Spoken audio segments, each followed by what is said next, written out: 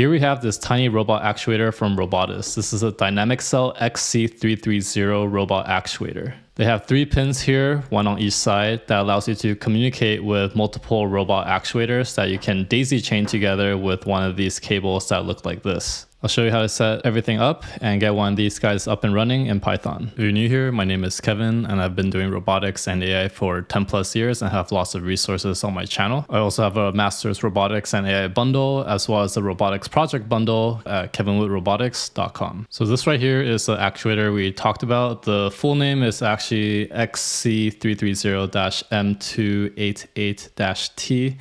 So you can take a look here, really inside of these actuators that we saw earlier is really a lot of different components in it. So it's a robot actuator because we have a motor inside.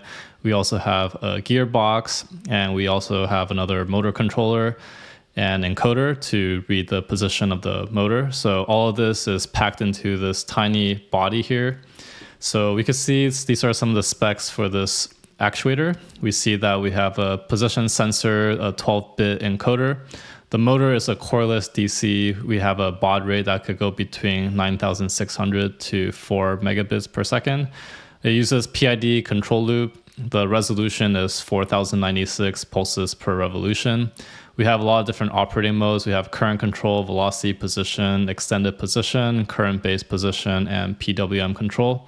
It's super light, it's only 23 grams, and we saw the size earlier. Some things about the gear ratio you see is almost 300 at 288.35. The torque it goes up to 0.93 for stall at about 1.8 amps. At no load speed, we're looking at 81 revolutions per minute, and we're looking at 5 volts.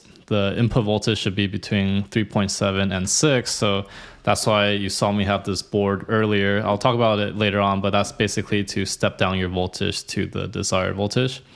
And you see the physical communication with the cables that we saw earlier. These guys here, this is for the TTL communication. And we can set the IDs between 0 and 252, so you could have a bunch of them daisy chained.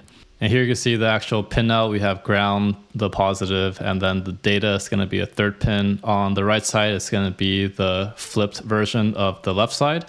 And here we see the working principle for the TTL communication. It goes between 0 and 5 volts and uses 0 and 1 bits to encode the data. Here you can see these are some options for the actual um, device that you need to use to connect to your PC. So you either use the OpenRB-150 or a U2D2. The one I have right here is more of a custom one that I got from um, Westwood Robotics because I'll be building a robot hand later on. But basically, it uses this similar um, chip that we see here to do the USB communication. So main idea is you have a PC here on the left. You're to get a USB cable A to C. It's to connect to here and then it's gonna go to one of your actuators that we see on the right. This right here would be some power that you're gonna be using to power your actuator. In my case, I'm using this board. Um, this is gonna step down the power from anywhere between, I think it was like 20 to 30, but basically I'm using 24 volts right now and then it's stepping it down to five volts that come into this actuator here. And we're going to be showing you how to set it up in the Dynamixel Wizard 2.0 here. So let's go ahead and jump into that. If you're looking to get your parts 3D printed but don't have access to a 3D printer, make sure to check out PCBWay, the sponsor of this video. Just come here to CNC 3D printing, choose 3D printing. Go ahead and drop your STL parts here, choose the quantity, material, color, process, and all these other properties that you need to fill out. And then come up here to the right and submit your part for review check out link below for discounts. All right, so just come over here to Dynamixel Wizard 2.0 and then go to software downloads. I'm going to be choosing Windows here. So after you install it, it's going to look like this. I'll leave a link in the video description. Just come here to scan and this will scan all your devices. So after it finishes scanning, you can see that we have found our device here. There's a couple of things you might need to do for your first time is you want to make sure you select your port to scan here, which I selected to be COM3 USB serial port. I have protocols one and two both selected and the baud rate I'm choosing is the 57,600 BPS. If you have one that's set higher, you could make sure to check that. The IDs, I'm to have 0 to 7. You could choose whatever range is appropriate. But when you set the IDs, this part is to be a little bit tricky, which I'll talk about in a little bit. But for now, I'm setting to 0 and 7. I've already set the IDs for this one specifically, which you can see here we have set as 6. So one thing to note here is that to set the ID, you would come up here. So you can see this is showing ID you would choose the ID you want here. So you can see this is part that's a little bit confusing. You see that there's only IDs 8, 9, and then all the way to 200 something that's available.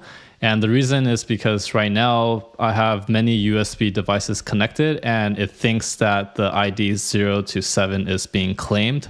So the only ones that's going to be available is going to be the ones that's not claimed. So that's one thing you might have to play around with. One way to get around it is maybe you could you could try scanning say only to um, only the one that your ID is set to, if you want to be able to set it to another one. So for example, because I already know my ID is six, then if I set like six to six, for example, and I try scanning it, I should only find my number six, which you see here.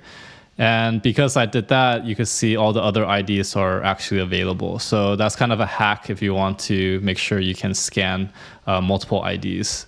So once you have an ID situated, if you want to start controlling it, you would come up here to toggle this torque right here. So once you toggle it, you will start to activate it. And you can see you could have different things you can set. You can set the gains here if you want to play with the gains.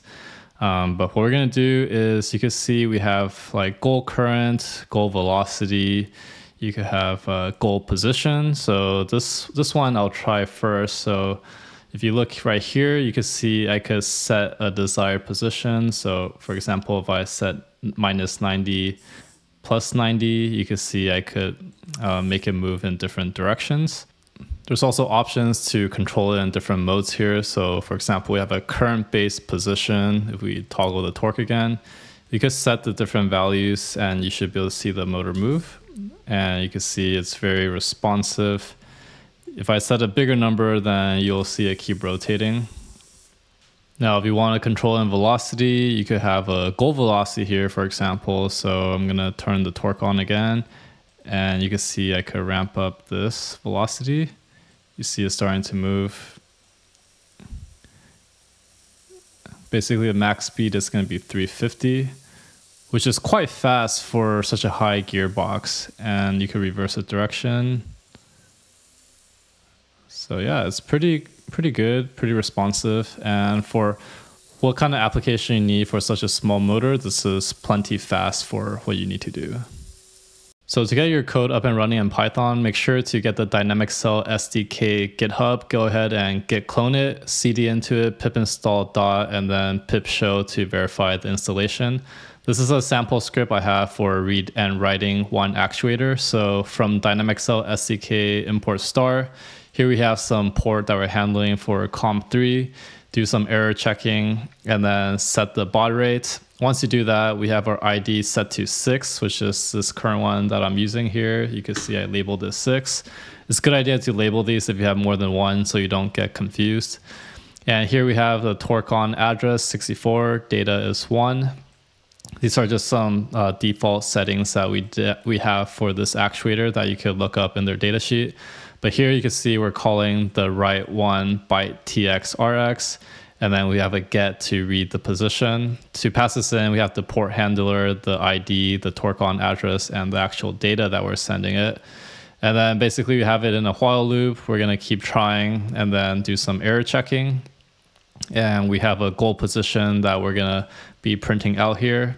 And right here, we have another current position that we're printing out. So it's going to keep asking a user for new numbers and then try to send the new command and then read the position. So inside here, you can see we could, in the terminal, we could set our desired position here. So for example, if I hit zero, it's currently at zero. And if I do 1000, you can see it moved. If I go back to zero again, you can see it's turning. So yeah, that's pretty much how you get it up running in Python. So if you found this video helpful, give a like and subscribe, and I'll see you in the next one.